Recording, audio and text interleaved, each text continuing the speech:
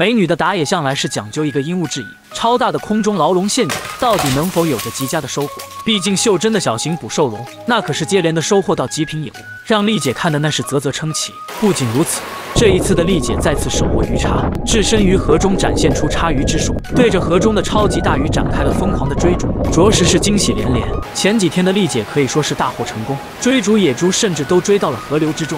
最终，丽姐那是成功的收获到了一只小野猪，也让自己的野猪驯养计划更进一步，吃肉自由似乎也不是那么的遥远了。不过，再不遥远，怕是也需要半年以上。因此，丽姐还制作了一个地坑木剑陷阱，希望能够收获到肉食。布置好陷阱之后，那便需要耐心等待了。等待向来都是纠结的过程，但是对于长时间游走在山林之中的丽姐来说，日子需要继续过下去，那么就得向前看，多找寻食物。前些日子收获了一根棕榈树心后，吃起来味道可是要比芭蕉树辛巴适的多，因此今儿再次遇到棕榈树的她，自然是不会放过的。关键是这一次的这棵棕榈树心，看起来可是要比之前的那一棵大上不少。几乎都有着丽姐大腿般粗细了。回到庇护所后，一番好好的清洗以及切割之下，丽姐是搞了满满的一大锅棕榈树心，加上清水后便开始烹煮了起来。煮熟之后的树心吃起来软糯香甜，味道巴适的一笔，可是让丽姐美滋滋的饱餐了一顿。饱餐之后，下午的丽姐那是晃晃悠悠的前往陷阱处，准备查看是否有收获。不过本以为会空空如也的她，却是没想到陷阱被触发了，这可是将丽姐给高兴坏了。赶紧的上前查看后，立马将木剑装置给拖出了地坑。而在下方是一只个头有着小三十斤的野猪，野猪走得很安详。丽姐那是当即便提着野猪回家，准备吃肉了。这几日的丽姐又野猪肉，因此可是有时间干些其他的活计了。在庇护所的时候，还利用竹条搞起了编织来，编织出了好几块个头不大的竹片。最后将它们组装在一起后，制作了一个竹子笼子。这个竹子笼子的个头不大，最前端的位置处，底部的部分是连接在一起，可以上下开合。这样的笼子，丽姐一共制作了两个，是专门用来捕捉野兔、山鼠一类的小动物的。拿上笼子之后，丽姐来到了附近的木鼠林，在地面挖掘出合适的位置来，准备放置笼子，守护木鼠。笼子的布置也是比较的简单。将笼子固定在地面上后，只需在其旁边插上一根长木棍，绑上一根树藤，将木棍拉弯之后，利用树藤末端绑扎的木棍以及笼子内的两根横梁形成一个平衡。一旦野物进入触碰到下端的木棍，便会破坏平衡，回弹之力就会将进口的竹门拉起来，将其关在里面。这便是整个竹笼装置的触发原理了。当然，诱饵的话可是不能少。丽姐搞了不少的木薯作为诱饵，想必效果应该不错。最后放置上枯树叶作为伪装之后，剩下的就只有等待了。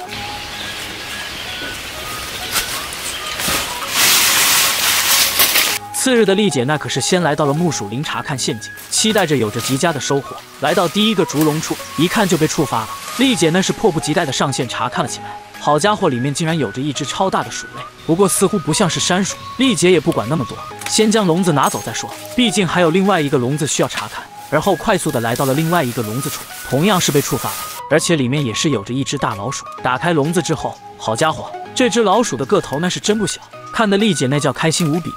小心翼翼的出手下，最终丽姐可是将其给抓了上来，并且将两只老鼠放在了一起。最终丽姐到笼子带回了庇护所。这两只老鼠不想是山鼠那般的狡猾，丽姐打算先将它们养起来。毕竟目前暂时不缺肉，为饿了养好它们，丽姐还搞了不少的木薯喂养它们。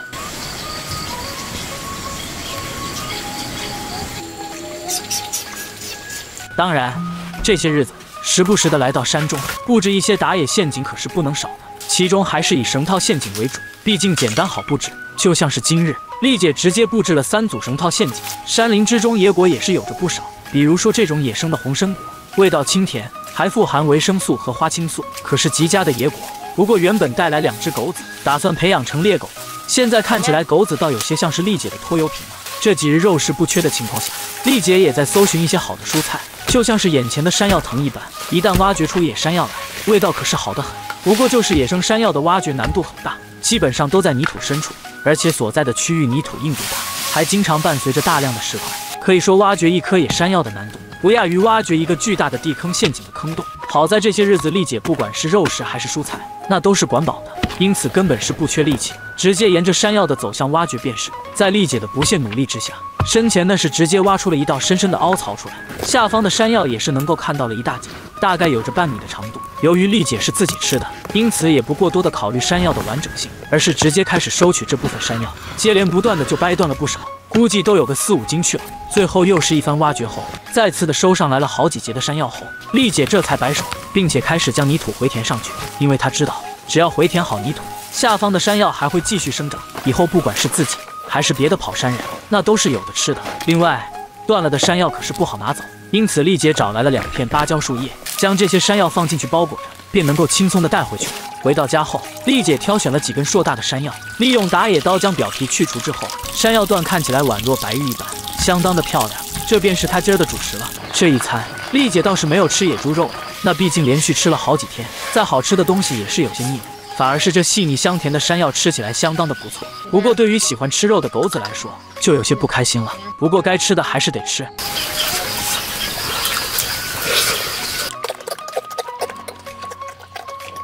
饱餐一顿的丽姐看着出来的太阳，今儿有了前往河边泡澡的想法。于是乎，带上狗子之后，那是径直的向着山下的河流前去。然而，来到河边之后，丽姐竟然发现了水中有了异常。仔细一看，好家伙，竟然是一条超大的河鱼，估计至少也是三四斤的大货。不过，想要徒手在这水流之中抓鱼，难度不亚于徒手抓百斤野猪，基本上是没有希望的。因此，丽姐用竹子制作了一把鱼叉，对着河水之中的大鱼追逐了起来。当然。即便是有鱼叉，想要叉到大鱼，那也是很难的。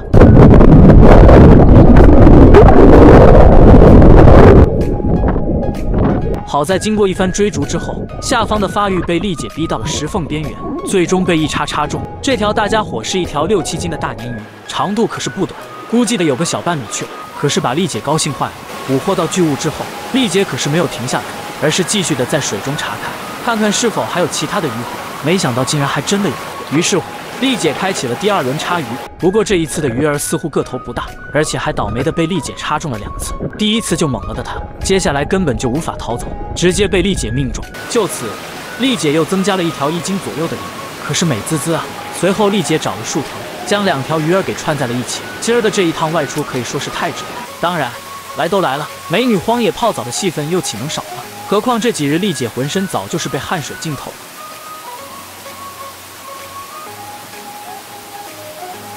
舒舒服服的泡上一个凉水澡之后的丽姐，那叫一个神清气爽，提着大鱼便向着庇护所返回。一路之上可以说是无比的快乐。回到庇护所之后，今儿的晚餐自然是要吃鱼了，尤其是这条超大的鲶鱼。丽姐那是迫不及待的拿上了打野刀，开始清理起了鱼儿来。最后去除掉鱼头之后，剩下的便是肥美的鱼身了。鲶鱼的鱼肉比较肥厚，而且鱼刺又少，对于不喜欢鱼刺的朋友来说，可以说是十分的友好了。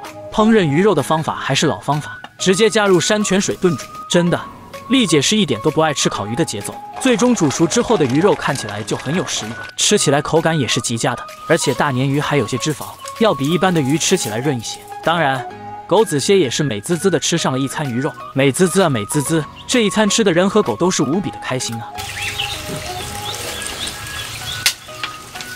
好好的休息了一夜之后，丽姐又一次的上了山，准备继续的设置打野陷阱。今儿的她可是砍伐了不少的木棍，因为丽姐一早便发现了野物活动的痕迹。这次准备利用木棍好好的打造一个超级捕猎陷阱。将木棍砍成适合的长短之后，丽姐又开始劈砍起了木刺，将一根根的木棍端部削尖了脑袋。好家伙，该不会是有想要制造上一次那般的地坑木剑陷阱吧？在劈砍出一大堆的木刺之后，丽姐先是利用粗木棍绑扎出了一个正方形的框架，接着又在框架的四个角上分别绑扎上了一根粗大的木剑，真是像极了上一次的攻击装置。不过不过接下来的就有区别了，以为丽姐在四根木剑侧面又加装起了木棍来，每两根木剑之间再次布置上两根横梁，让整个装置的稳固性大大的提升了起来。关键是框架的大小还比上一次大很多，应该有个一米五乘一米五的样子。至于剩下的木剑部分，丽姐这是按照间五六厘米的距离，将它们并排的绑扎在横梁之上。这次应该不是捕杀陷阱了，毕竟只是在边缘布置木剑，而框架中间那是一点木剑都没有，看起来倒像是一个牢笼一般的。只要野物进入到里面，自然是无法逃出去的。花费了大量的时间后，丽姐可算是将整个木剑部分给绑扎完毕了，并且还木剑装置给拿到了发现野物活动的地方处。看样子是打算将其布置在这里了。随后，丽姐先是好好的清理了一番地面，在地面之上整理出来了一大块平整的场地，接着便将木剑框架拿了过来，翻转一百八十度之后，让木刺部分朝下方放置。至于顶部的话，这个时候还需要利用木棍来封顶。这部分工作可以说是最为简单的部分。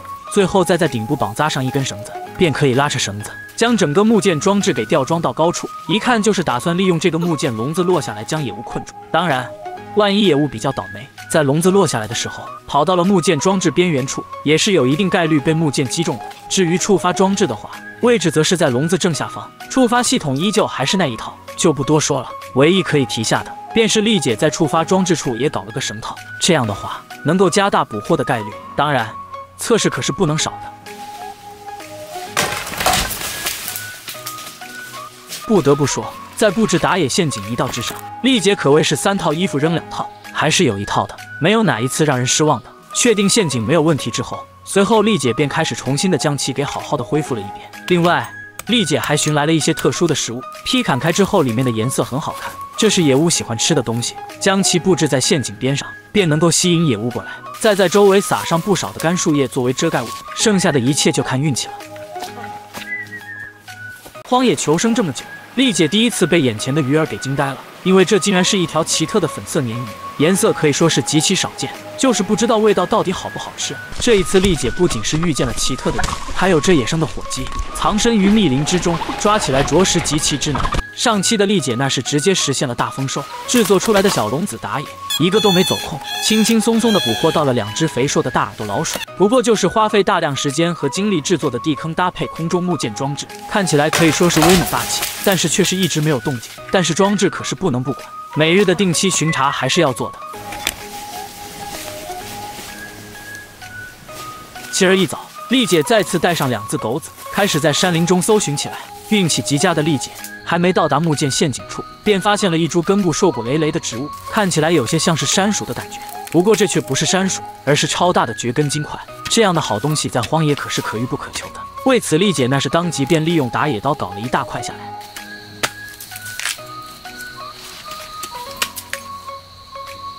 还没吃早饭的丽姐，自然是先回到了庇护所。准备生火做饭，毕竟陷阱天天都卷，晚一些也没事。这种根茎外皮看起来粗糙暗淡，但是将皮削掉之后，里面的果实肉带着淡淡的黄色，劈砍开来的时候有些像是土豆，不过却是有着不少的拉丝，看起来还是不错的样子。烹饪的方法也是比较的简单，只需要上锅大火炖煮即可。趁着烹煮的时间，丽姐还给狗子检查了下身体。经常跟着丽姐巡山的他们，身上有着一些小伤，让狗子看起来比较萎靡。随着山鼠烹煮的软糯之后，丽姐也是不客气的开吃了起来。毕竟荒野生存最关键的就是要有力气，当然，狗子们的那一份，丽姐也是不会忘记的。两只狗子直接分到了满满的一竹槽山薯。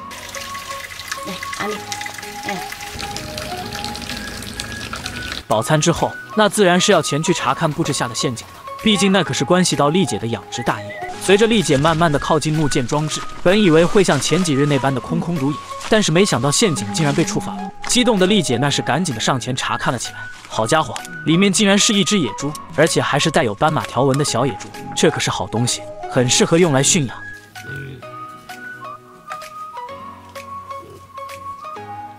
因此，丽姐在一番细细的查看之后，便拿出了打野刀，将顶部的木棍敲掉几根。这样的话，便可以从顶部的开口位置俯身下去捕捉小野猪了。不过，野猪毕竟不是家猪，没有那么的温顺。虽然其个头不大，但是想要徒手将其抓起来，可不是一件容易的事情。经过两次扩开顶部的空间之后，丽姐是足足的花费了十多分钟，最后这才将小野猪给抓住，接着拖了出来。为了方便将野猪带回去，丽姐还利用了树藤给野猪做了一番捆绑。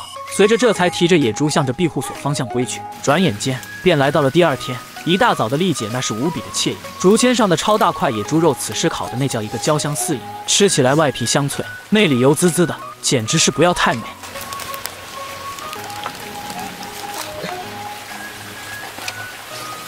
而在火炉上，剩下的猪头连带着猪身也都被李姐熏烤着挂了起来，全部制作成了熏野猪肉。如此一来，才能够较长时间的保存起来。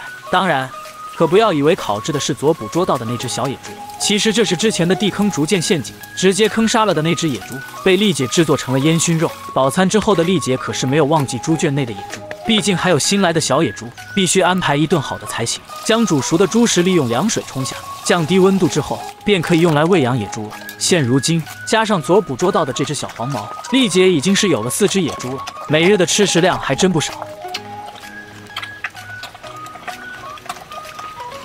左抓野猪，又是扛着野猪跑步。丽姐浑身可是沾染了野猪不好闻的气味，因此今儿带上鱼叉的她，直接来到了河边。一方面是尝试叉鱼，以此来丰富自己的饮食，获得更加良好的身体状况；二来嘛，那自然是要好好的泡一个澡了。由于前些日子上游下过大雨，因此这几日水比较大，而且鱼儿的数量似乎也比之前多了不少。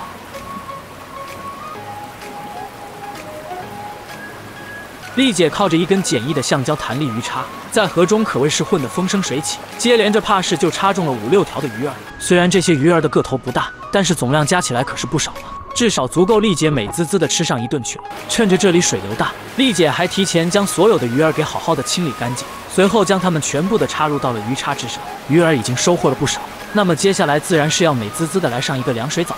不要以为这水太冷，要知道山林间气候湿热无比，能够泡上凉水澡。可以说是无比的凉爽。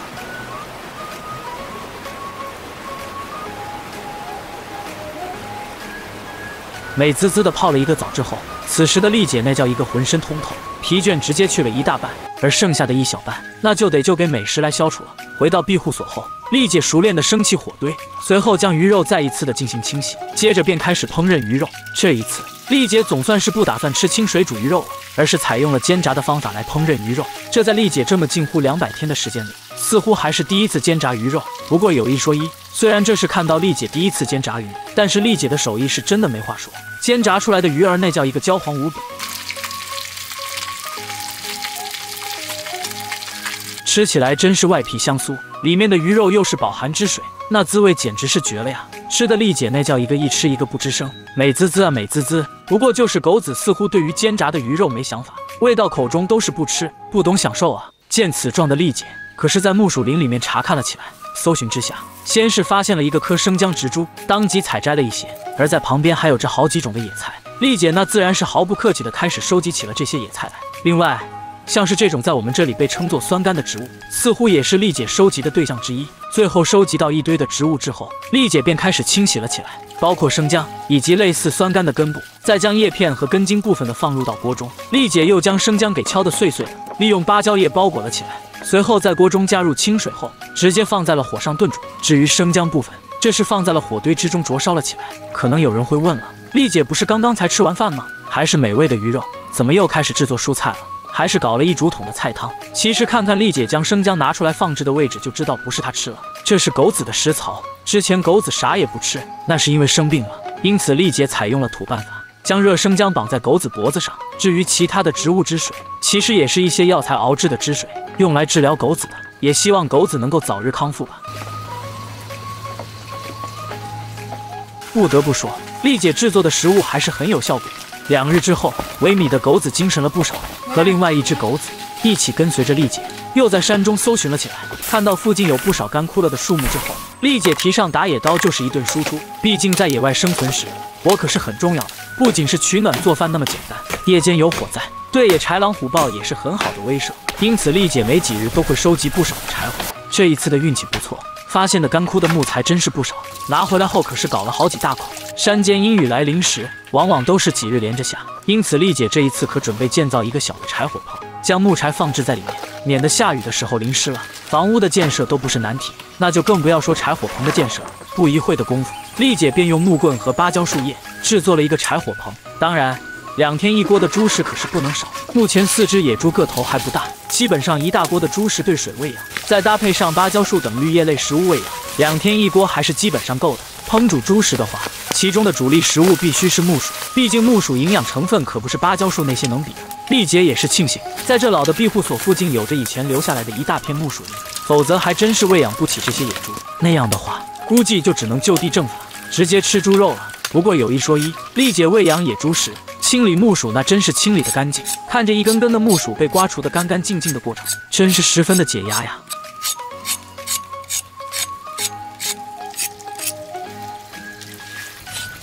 木薯的处理依旧是清理干净后再进行切片，最后放入锅中烹煮，直到烹煮的软烂才完事。最后加入清水搅拌，降低到合适的温度后，便可以倒给野猪些吃了。这样的大餐，自然是让小野猪们吃的那叫一个无比的爽快呀。美滋滋了！处理完野猪的食物之后，昨儿吃上河鱼的丽姐，那是意犹未尽。加上之前放在下游河边有个捕鱼竹笼，今儿她打算用竹笼捕鱼，然而来到河边却是找不到了竹笼。而在河中，丽姐又有了新发现。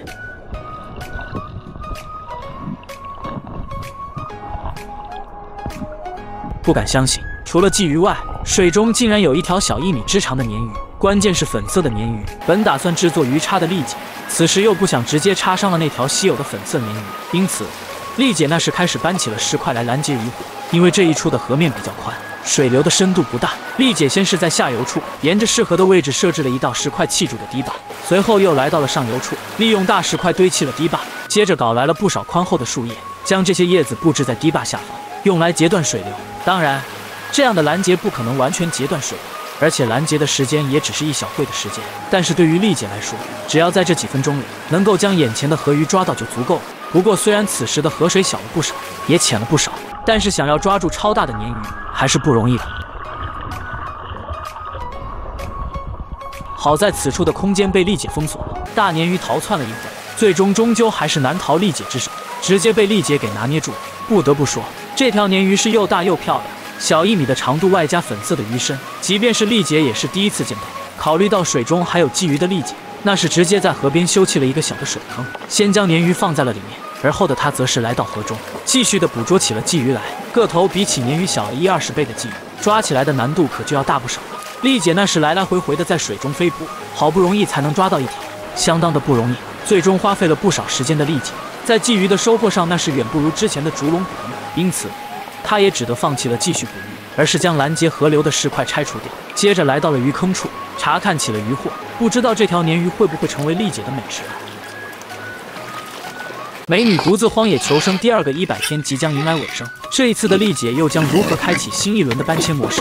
毕竟目前丽姐手上的野猪数量可是不少，而且在离开之前的这两个多月里，丽姐可以说是又干了几件大事，竟然就连这般巨大的火鸡都没有逃出她的手掌心。上期的丽姐更是在河中发现了一条极品大鲶鱼，在丽姐建设了不少的石堤拦河之后，那可是成功的将超大的粉色鲶鱼给拿捏住了。要知道，这样的大鲶鱼实在是难得一见。不过在鲫鱼的捕捉上，那可就要难得多了，徒手抓起来相当的费劲。对于这条粉色鲶鱼来说，丽姐内心也是很纠结。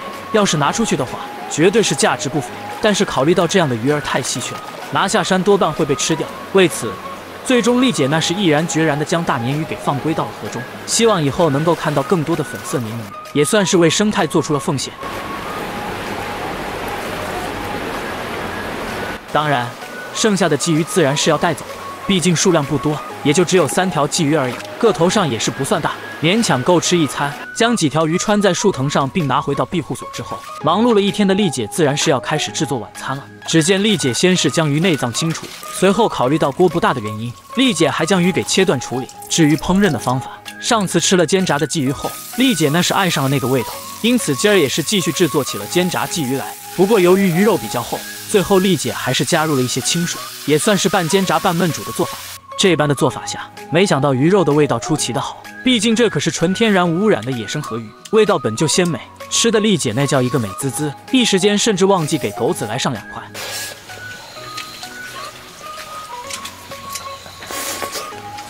好在最终还是给狗子补了几块肉。恢复后的狗子目前精神极佳，吃起烤鱼来那是无比的开心。饱餐之后，再美美的睡上一觉，那真是舒服啊！来到次日一早的丽姐便拿上了竹筒，开始劈砍了起来。前些日子用来插鱼的工具，在上次捕鱼后给遗落在了大山之中，以期回去寻找。丽姐倒是觉得重新打造一把来的快捷，毕竟制作的方法也是简单，一根竹筒，一根铁签，外加一组橡胶条即可。劈砍好竹筒后。还利用烧红的铁签将竹子的末端给扎一个孔洞，以方便后续透过孔洞拉动插鱼的铁叉。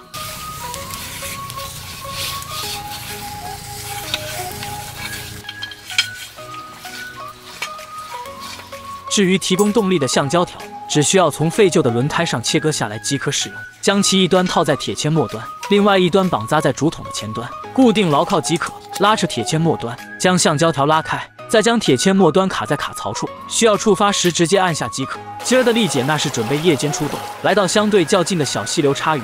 毕竟下方的大河在夜间可是不方便行动，而昨天的鱼肉又吃的有些意犹未尽，夜间的鱼儿在灯光的照射下基本上不会动，因此一旦发现之后，插鱼神器可是一插一个准，接连不断的。丽姐便收获到了好几条鱼儿。不过唯一比较可惜的是，这小溪流之中的鱼儿个头上比较小，即便是眼前这条十多厘米长的鱼儿，便已经算得上是大家伙了。好在数量上还是比较给力的。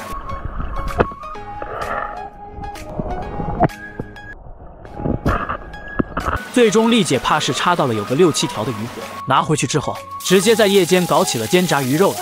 不得不说，吃货的力量真是强大呀！美滋滋的休息一夜之后，次日的丽姐可算是没有下河捕鱼了，而是带着狗子来到了山上。两日不上来，这里的山鼠又猖狂了起来。为此，丽姐那是搞来了木棍和石块，在合适的位置上布置了两三组的捕鼠陷阱。完事后，还特意的用不少的蕨类植物叶片在周围做起了伪装来。至于两只狗子的话，那自然是在一旁守候着丽姐了。这一趟出来，丽姐还有了新发现，几根硕大的羽毛。这般的发现可是让丽姐很是惊喜，因为就这羽毛的尺寸，野物绝对不是小家伙。果不其然，在丽姐不断的搜寻下，可算是发现了前方的好东西——一只野生的火鸡。随后，丽姐那是小心翼翼的靠近火鸡，最后更是直接扑了上去。可惜第一击被身法极佳的火鸡躲过去，接着只有不断的追击，看看有没有机会追到了。可惜火鸡的身形对比丽姐来说不大，在低矮的密林之中，那是来去自由。最终，丽姐也只得看着火鸡的身影越逃越远了。好在丽姐也不算是一无所获，在随后的搜寻下，可是发现了火鸡的老巢，里面虽然没有火鸡的身影，但是却是有着不少的火鸡蛋。这样的好东西，丽姐自然是不会放过的，一颗颗的将下方的火鸡蛋给收了起来。毕竟火鸡蛋可是富含蛋白质，对于荒野求生的丽姐来说，绝对是大补之物。而且不仅是个头大，数量上还不少。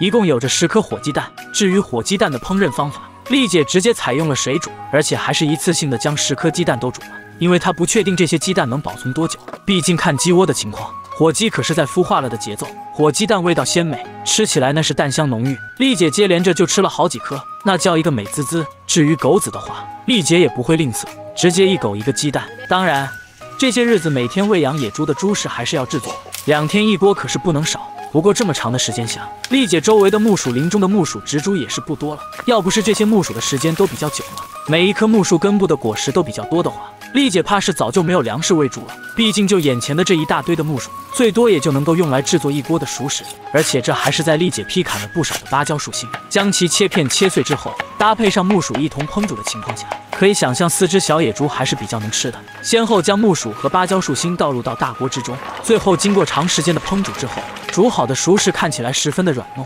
喂养前的话，还需要将其用凉水降温，如此一来才能给野猪吃。最近一段时间的天气可是不佳，连日里都是阴雨绵绵的，这也导致了猪圈内十分的泥泞。好在小野猪们对于恶劣的环境早就适应了，毕竟每天有人定时投喂，可是比荒野好多了。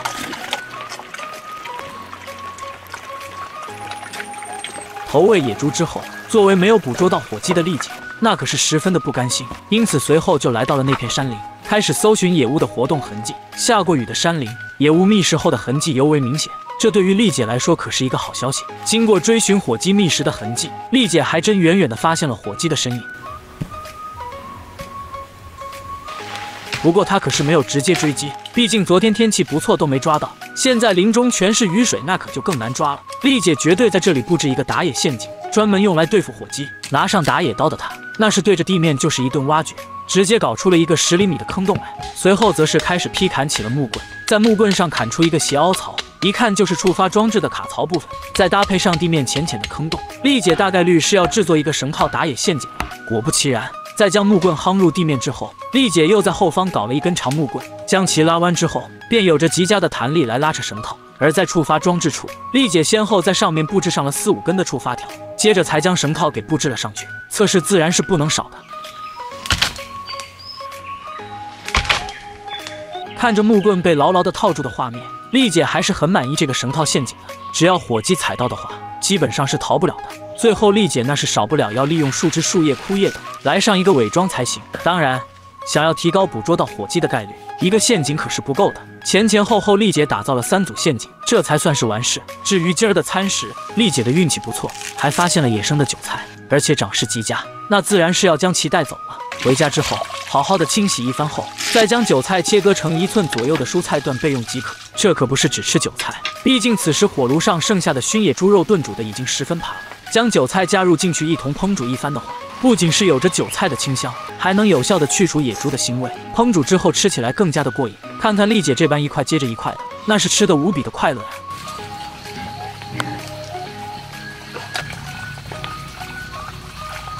休息一夜，次日的丽姐可是没有忘记火鸡陷阱。一早的她就开始上山查看了起来，在先后两个陷阱都没动静的情况下，本以为第三个陷阱也是没有希望之景，没想到火鸡竟然刚好溜达到这个区域，被丽姐惊动之后，想着前方逃去时，正好踩中了陷阱，可谓是来得早不如来得巧，这可是让丽姐开心坏了，当即就开始出手收取这绳套上的极品大家伙。毕竟这般的火鸡个头可是不小，估计得有个十几斤去了。最后丽姐还搞了一根木棍，将火鸡挂在后面。